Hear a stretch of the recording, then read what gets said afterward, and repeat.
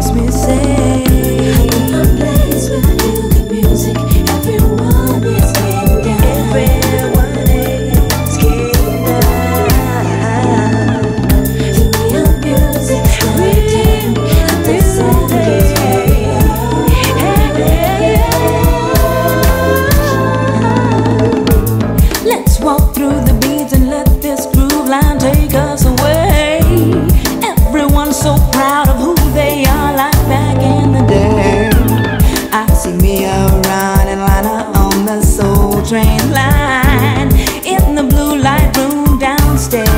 The couples are in the mood.